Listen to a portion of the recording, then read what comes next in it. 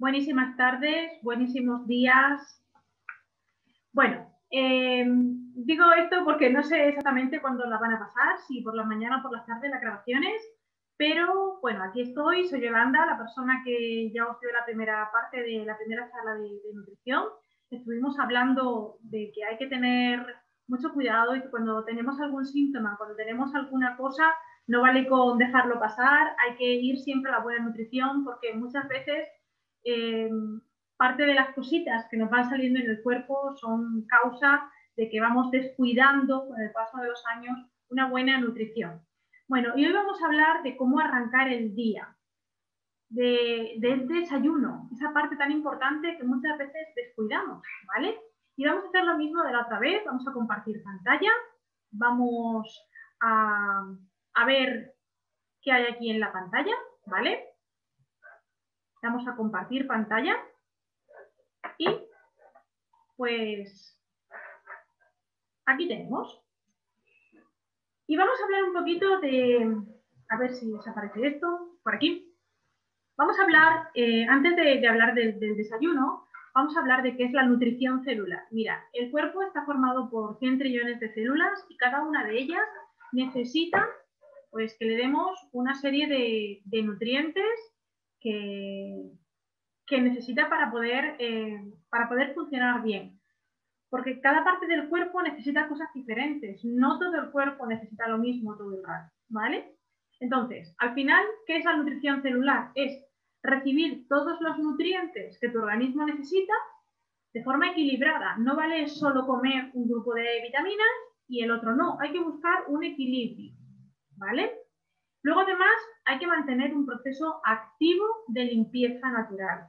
No vale con acumular desechos y no limpiar el cuerpo. El cuerpo es como una casa, tiene una entrada, tiene dos salidas y necesitamos deshacernos de todo aquello que nos sobre. De manera que lo que comemos lo que sirve tenemos que aprovecharlo y lo que no sirve hay que sacarlo cada día del cuerpo. Al baño hay que ir a diario y es súper importante este tema, ¿vale? De manera que absorbamos el 100% de los nutrientes. ¿Qué ocurre cuando un cuerpo por dentro está sucio? Pues que los nutrientes no se absorben y pasa lo que pasa. Muchas veces, pues, ah, pero si yo como bien, si yo no, no, pero es que el cuerpo está, está sucio por dentro y entonces no se absorben bien los nutrientes. Entonces, ¿qué ocurre? Pues ocurre esto, que cuando, y esto es volviendo un poquito a lo que vimos el primer día, si nosotros corregimos los excesos, pero a la vez aportamos todos los nutrientes que un cuerpo necesita, pues las deficiencias no estarían, de manera que buscaríamos un poquito el equilibrio en la alimentación que necesitamos. ¿Y por dónde empezamos? Pues evidentemente cuando te levantas por la mañana, ¿por dónde vas a empezar? Pues por el desayuno, claro, es la parte más sencilla por la que tenemos que empezar. Entonces, ¿qué ocurre? Pues lo que pone aquí, que hay una relación muy importante entre los problemas de salud y un mal desayuno. El que comienza mal, acaba mal. El que comienza bien, acaba bien. Luego, ¿Tener buena salud depende del desayuno? En una pequeña parte sí. Y fijar qué cosa tan... No sé, mucha gente no le da importancia. Ay, yo no desayuno. Es que a mí no me cabe por las mañanas. Ay, yo, yo me tomo un café. Pero es que eso no aporta ningún tipo de vitamina ni de nutriente. Hay que desayunar bien, ¿vale? Y vamos a ver qué es desayunar bien. ¿Qué desayunas cada día? Preguntaros este tipo de cosas. ¿Qué desayuna tu marido, tu mujer, tus hijos, ¿Crees que lo que estás desayunando aporta todos los nutrientes al cuerpo? ¿Cómo te sientes a mitad de la mañana? ¿Con energía, sin energía, después de comer? ¿Te da mucho sueño? ¿No te da mucho sueño? ¿Cómo estás de energía? ¿Cómo pasas la tarde? ¿Cómo llegas a la noche? ¿Tienes energía suficiente a lo largo del día? ¿Duermes bien? ¿Te despiertas fácilmente con energía o necesitas medio día para levantarte porque estás que no puedes con tu vida? ¿Te suele doler la cabeza? ¿Tienes molestias digestivas? Y así podríamos seguir haciendo un sinfín de preguntas que casi todas dependen de una mala nutrición en mucha parte de, ellas, ¿vale? Entonces, al final, ¿qué es? ¿Qué es el desayuno? Pues dice, el desayuno es un ayuno prolongado. Eh, no, no, vale con, con, no comer, ¿vale? O sea, nosotros, el tema de la noche, nosotros durante todo el proceso de la noche estamos en vacío, pero necesitamos, cuando nos levantamos por la mañana, necesitamos materiales para producir energía, para que el cuerpo funcione, para que se consuman a lo largo del día y, que produzcan un, bienestar. Entonces, necesitamos el grupo completo, el grupo completo de nutrientes por la mañana y agua. El agua hay que dársela porque a lo largo de la noche el agua se pierde del cuerpo, se pierde casi un litro de agua. Entonces, dices que yo con un café, con un vaso de leche, con una infusión, o, me meto un bollo con una magdalena y un café con leche. No, no, no, no, no, no, no. O, no desayuno. Bueno, eso es lo mejor. O sea, un mal desayuno arranca siempre un mal día. ¿Qué ocurre? Pues lo que decíamos antes. El cuerpo son 100 trillones de células y todos los días hay que darle al cuerpo infinidad de nutrientes. Hay que darle proteínas, carbohidratos simples, simples, y complejos, perdón, simples no, hay que darle carbohidratos complejos, simples muy poquitos. Grasas insaturadas, vitaminas, minerales, ácidos grasos, fibra, agua. Hay que moverse y hay que relajarse. Tanto moverse como relajarse. Hay que tener un poquito de todo. Y entonces, bueno, pues el cuerpo, todo lo que tú comes lo divide en dos grupos. Por un lado, una parte de los alimentos los lleva a producir energía y por otro lado, construcción y reparación por un lado, te deja moverte, te deja pasar un día guay, pero por otro lado, necesitas reparar esas pequeñas cosas que dentro del cuerpo se van estropeando y que necesitas que vuelvan a funcionar bien. ¿Qué pasa? Pues que además hay que meterle agua. ¿Por qué? Pues porque el cuerpo pierde, eh, a lo largo del día pierde agua y por la noche, mientras que te vas a dormir, pierde casi un litro completo de agua.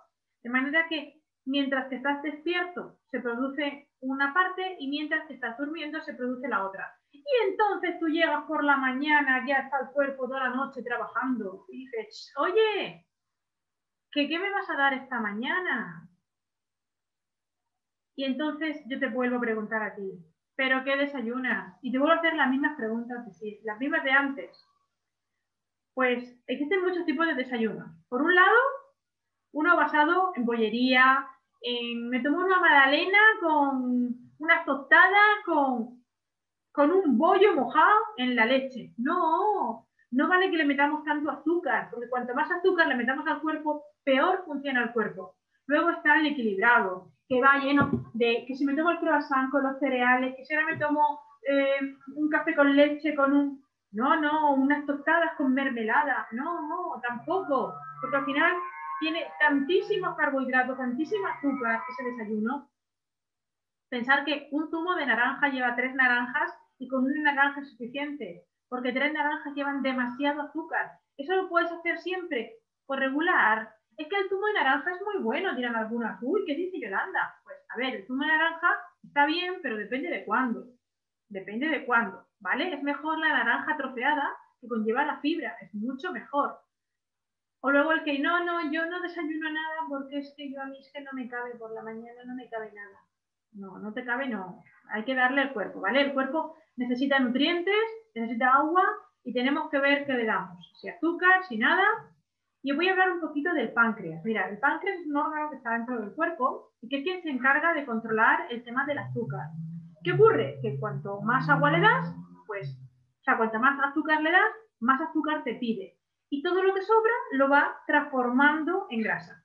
Y al final, ¿qué ocurre? Pues que si esto lo repites muchas veces al día, tú le das demasiado azúcar al día al, páncreas y el páncreas se, vuelve, se va volviendo loco, pues al final, ¿qué ocurre? Pues que empiezas a tener falta de energía, desórdenes de sueño, dolores de cabeza, ansiedad, problemas digestivos, el que sea, sobrepeso, todo junto, todo junto.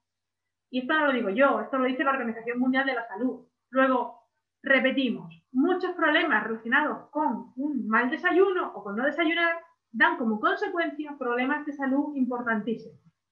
Entonces, ¿qué hay que hacer? Pues, ¿qué tiene que tener un desayuno ideal? Pues al final necesita tener, primero, darle los nutrientes que el cuerpo necesita durante las 24 horas anteriores, ¿vale? Porque se han gastado, darle energía para poder, para poder seguir trabajando incluso en el proceso de la noche darle agua y mantener los niveles de azúcar en sangre. ¿Esto qué quiere decir? Mira, ¿qué, qué dice esta muchacha? ¿De qué está hablando? Pues a ver, tienes que buscar un poquito un equilibrio. Tienes que meterle diferentes alimentos de diferentes cosas. Ya sé que hacer un desayuno, como estoy hablando yo, es bastante complicado, pero ¿se puede conseguir? Claro, claro, por supuesto. Todo se puede conseguir, ¿vale? Entonces, bueno, eh, como son charlitas cortitas, tampoco se pueden demorar mucho, no podemos entrar en muchos más detalles, ¿vale? De todas maneras, cualquier persona que tenga cualquier duda, solo tiene que preguntarme, que escribirme, que llamarme, no hay ningún problema y yo le resuelvo más dudas. Pero lo principal y fundamental es que no vale atiborrarse de azúcar al levantarse por la mañana o no desayunar, ¿vale? Ninguna de las dos opciones son buenas. Sobre todo para qué? Para mantener la energía, la salud y el bienestar en el cuerpo cada día. Así que con esto me despido de todos, un besazo y que paséis un fantástico día.